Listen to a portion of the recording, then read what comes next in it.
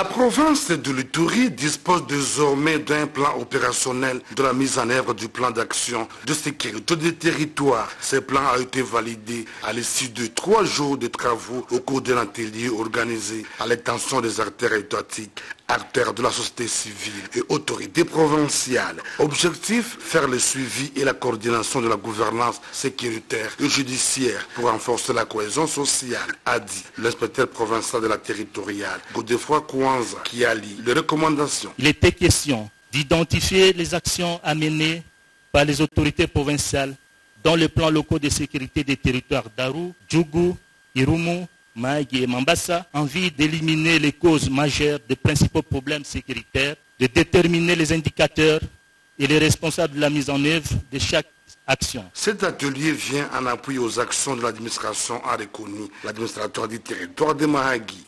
Euh, cet atelier nous a permis d'acquérir beaucoup de notions liées à la gouvernance euh, sécuritaire, ce qui nous permettra de, de bien travailler surtout lors de nos itinérances et, en matière de sécurité dans l'exercice de notre fonction. Niki Douma, représentante pays de VNG international, énumère certaines actions en cours dans le cadre de ce programme. Oui, cette activité, euh, sous l'invitation du gouverneur de province de Litour, est apportée sur euh, la validation d'un plan opérationnel provincial euh, en matière de la gouvernance sécuritaire euh, pour appuyer la mise en œuvre des plans locaux de sécurité des différents territoires de province.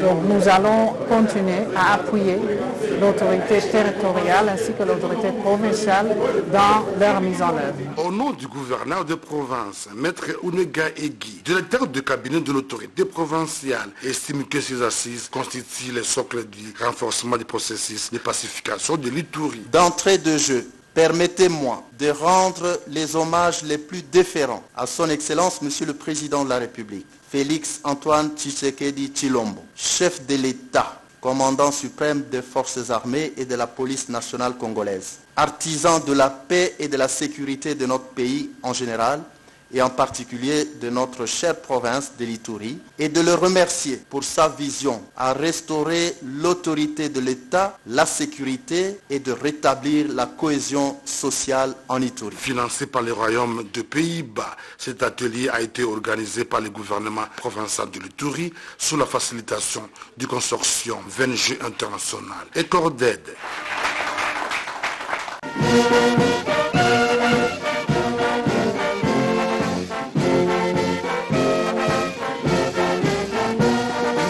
Dans l'objectif de permettre le retour d'une énième vague de déplacés dans certains coins du territoire des Romous, stabilisés et sécurisés par les forces armées, une délégation des humanitaires, conduite par la chef de bureau pays en intérim de OCHA en RDC, s'est entretenue avec le gouverneur militaire de l'Itourie ce jeudi 1er septembre. Pour le docteur Alexandre de Souza, les humanitaires vont poursuivre l'assistance envers les populations qui en ont besoin.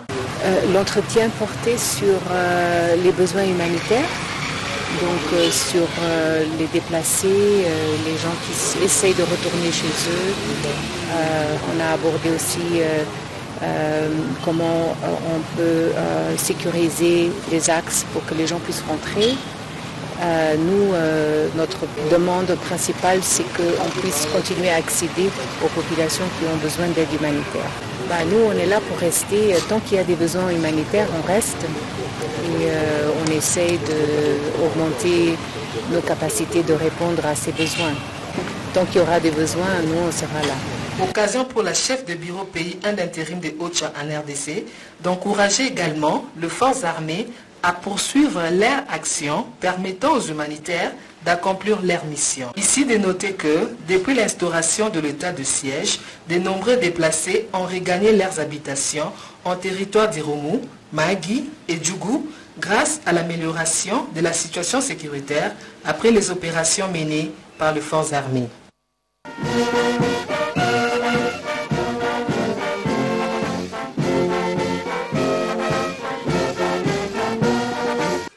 Lors de sa visite de travail dans la base militaire de Kitona, le 18 août 2022, le chef de la maison militaire du chef de l'État, le général-major Boamunda Tumba, avait promis au commandant de l'école d'artillerie, le colonel Ametedi Mamo Laurent, l'arrivée imminente du technicien de la garde républicaine pour rendre opérationnel le lance-roquettes multiple BM21. Chose dite, chose faite, voilà aujourd'hui l'arme devient opérationnelle.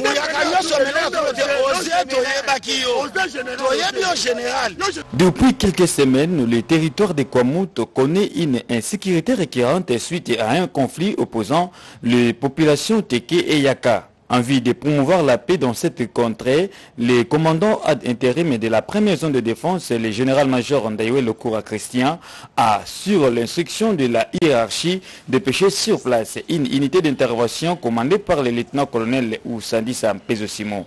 Cette unité est arrivée à Kwamout le dimanche dernier à 19h. Les jours suivants, le lieutenant-colonel Oussadissa a rencontré les diverses autorités de la place pour s'enquérir de la situation réelle qui prévaut dans ces territoires. Il s'est entretenu tour à tour avec l'administrateur du territoire, M. Ndi Lapangui, le bourgmestre Jean-Claude Collet, le chef de groupement, M.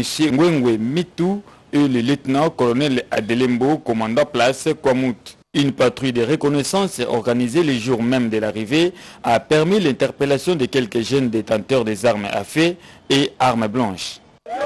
La population Teke qui a affirmé être en cavale a salué l'arrivée de ces éléments d'intervention de la première zone de défense et s'est réjoui de passer de nouveau une nuit paisible et calme. Bilanga tozokende lisusu te. Lelo oyo tolali pongi tozwi mwa kimia po basoda baye na mboka. Nde toza basoda me kimia ezali te. Soki basoda bazalaki te bato balinga me tokimi lelo lisusu mboka etikali polele. Mboka eza lisusu na bato te. Mboka yango mabulu pasi eleki papa talela biso likambo oyo na kwa mutu eloko epesi biso mpasi makasi biso 16 biso 14 marquer à la police ake basoda même éclaireur na mboka bake baboi basoda wana ye atike na mboka mite basoda bakufa ye aza na mboka fifa afai na mboka fifa toza baku boye eza administrateur Le commandant ad intérim de la première zone de défense, c'est le général-major Christian Okurandaiwel, est quant à lui déterminé à maintenir une paix véritable et une parfaite cohabitation comme jadis entre les Teke et les Yaka.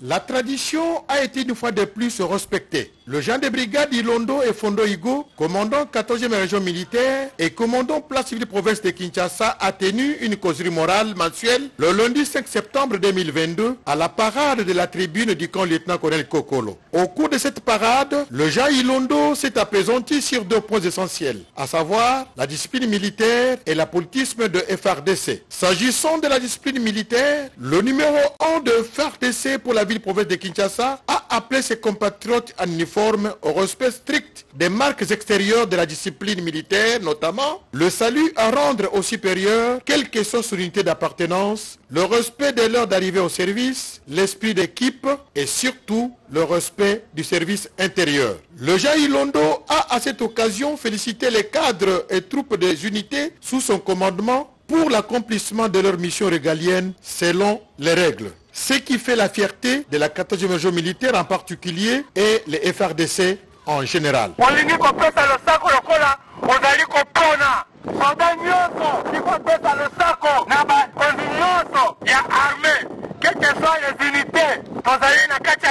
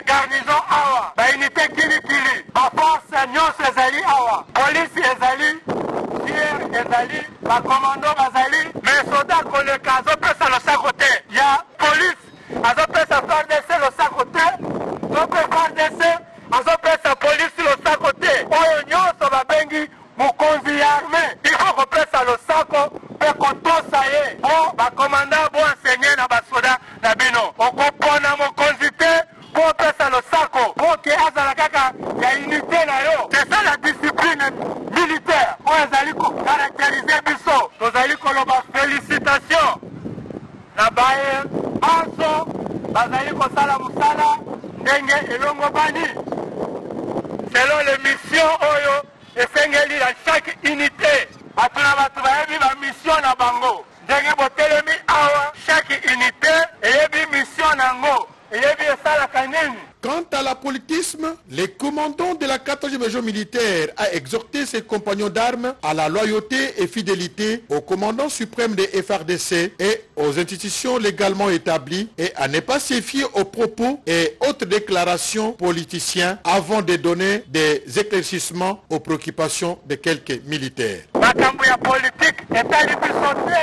Likolo oyo badeba ezali kosalema ya bambongo ya badepute etali bino te. Botika politike basala mosala na bango. Ebele balingi babebisa morale ya basoda komema bango na badeba politike etali biso te. Bokeba biso tokozela oyo bakonzi bakopangela biso. Ndenge toyokaki bavote loi ya programmation militaire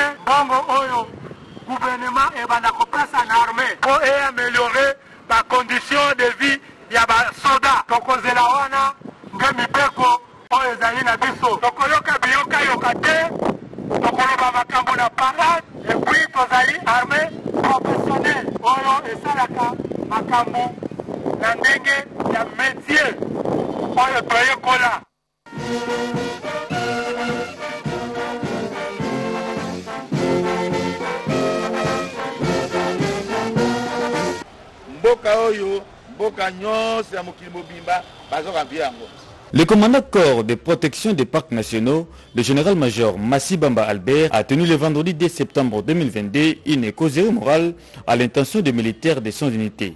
C'était à l'état-major de ces corps situés au jardin zoologique de Kinshasa. Trois temps forts ont marqué cette causerie morale. D'abord, l'adresse du commandant corps PPN aux officiers nouvellement affectés dans les différents parcs. Ensuite, la présentation aux militaires du directeur général de l'Institut congolaise pour les conservations de la nature, M. Olivier Mouchetou. Enfin, la visite du bureau du corps PPN et le bâtiment administratif en construction. Dans son adresse aux militaires affectés aux différents parcs nationaux, le général Massibamba Albert a exhorté ces derniers d'être au service des corps PPN et les a appelés à la discipline, au respect de la hiérarchie et à une franche collaboration avec les éco-gardes dans les exercices de leurs fonctions. Koyokola ndenge nini esengeli mosala esalema. Bokokóma na terrain bokokuta bandeko na biso ya fardc ya polise na ya baservice mosusu eza kuna. Esengeli bozala ensemble na bato wana. Okei kuna te kwa oyo banda kosala bacombine na bacommerçant na ba- bato oyo bazoluka baoro na kati ya parke boyo baza kokoopere na banguna ndeko na ngai okozwama. Ntango okozwama okoleka na justice militaire. Biso tofundaka te me tolobaka verité baleki awa baza na nombre autant nde ozomona baninga na biso ya fardc baza koresiste grâce ya corps ppn na baecogarde na ye. Bakonzi mpe bandimi mpo na kosunga biso. To décevoir bakonzi te. Ya ndelo ya biso toza na baservice ebele. Aner azali tozotravaille na aner. Dgm bazali tozotravaille na bango bana baexpatrie bapartenaire na biso baétranger oyo baza kokota baza gere na baservice wana. Tozotravaille na police nationale tozotravaille na population talanga na tala yo deuxième point eza problème ya discipline. Namoni elongi na biso awa toza basoda ya kala. Ebele bana oyo balandi biso baza moke. Na mosala nyonso ezala ya armée ezala civile. Le respect ya voie hiérarchique oza na droit te kokoma mokanda na yo quel que soit votre rang. Otindeli bakonzi oyo baleki chefu na yo. Sa passe par chefu na yo. Okei mission sala rapport na yo. Tutana na mokonzi na yo pese rapport osinye rapport na yo. Mokonzi asali nini? Asali transmis atindeli bakonzi oyo esengeli bayeba mosala nini yo kende kosala vous prenez des contacts ngai commanda corps pepe nayebi te vous allez vous brûler vous-même les doigts. Toyokani Pour sa part, le directeur général de l'ICCN, M. Olivier Mouchetou, a saisi cette opportunité pour expliquer aux officiers de ces corps le logo représentant les quatre piliers posés par le directeur général de l'ICCN pour asseoir la stratégie nationale de conservation de la nature en République démocratique du Congo. Comme vous le savez certainement déjà, parce que j'ai déjà répété ça à plusieurs reprises, mais depuis un peu plus d'un an que nous sommes là avec la nouvelle euh, direction générale de l'ICCN, nous avons posé quatre piliers fondamentaux pour euh, asseoir la stratégie nationale de conservation euh, de la nature en République démocratique du Congo. Le premier pilier, qui est le carré bleu que vous voyez ici sur le logo, c'est la souveraineté du territoire et le rétablissement de l'autorité de l'État juste à l'intérieur du pays. Le deuxième carré qui est rouge ici, c'est l'humanité, le volet humain les hommes sont les acteurs principaux de la conservation de la nature. Le troisième pilier, le noir, c'est la responsabilité, dans le sens où nous devons tous maintenant fournir des efforts pour générer nos propres capacités d'autofinancement. Le quatrième et le dernier pilier stratégique, c'est la biodiversité. C'est le carré vert avec le rond au milieu. Alors pourquoi un rond? Parce que c'est le cycle de la vie. Encore une fois, si nous voulons améliorer notre performance de conservation de la nature, pour ça, il vaut mieux connaître le monde vivant. Et la connaissance du monde vivant, c'est la recherche scientifique, c'est l'éducation dans les écoles, c'est l'information, c'est la vulgarisation. Par ces voies-là, nous serons capables d'améliorer notre performance de, de conservation.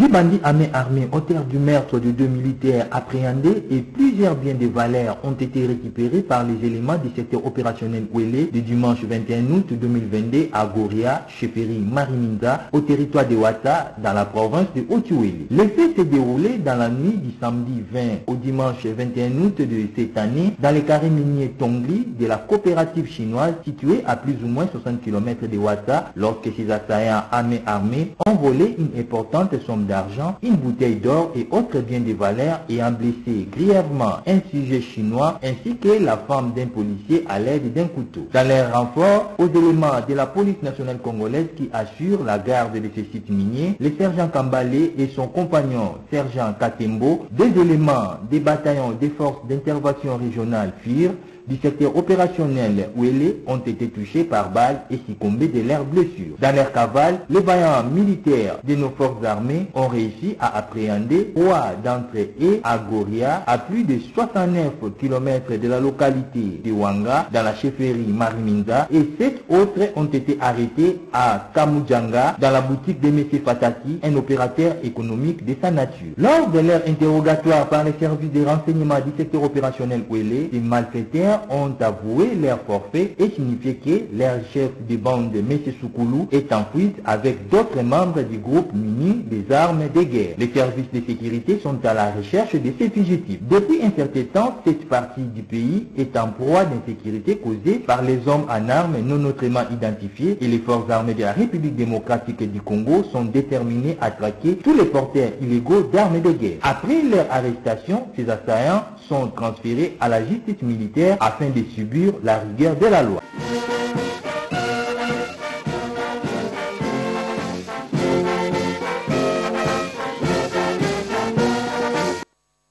Approche de la cybersécurité centrée sur l'outil informatique constitue la meilleure des défenses contre les cyberattaques qui ne cessent de nuire soit en volant des coordonnées bancaires ou frontières, soit en cyberespionnage en accédant aux données sensibles de notre système de défense. Le colonel Pambadiassi Villéon nous parle ici des concepts cyber, cybercriminalité, cybersécurité, ainsi que la motivation de l'organisation d'un atelier de renforcement de capacités sur la cybercriminalité et la cybersécurité. La cybercriminalité porte sur les activités criminelles.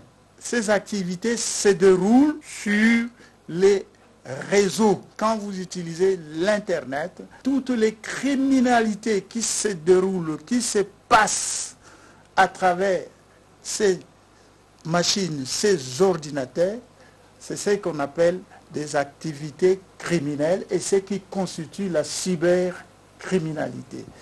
Ces activités se déroulent euh, principalement par, à travers, si vous voulez, les réseaux télé-informatiques. Et je répète, le réseau des réseaux s'appelle Internet. Elles sont multiples, ces activités-là. Vous avez des fraudes, vous avez l'espionnage. Il y a plusieurs types de criminalité. Ça ne se passe pas dans la rue, ça se passe à travers l'Internet, à travers les ordinateurs, cybersécurité. Toutes ces activités-là font mal. Alors, il faudrait, nous qui avons de grands systèmes informatiques, nous devons nous prémunir, nous protéger. Donc, euh, cybersécurité, on peut appeler ça également sécurité informatique, on peut appeler ça sécurité des systèmes informatiques. En quoi cela consiste-t-il?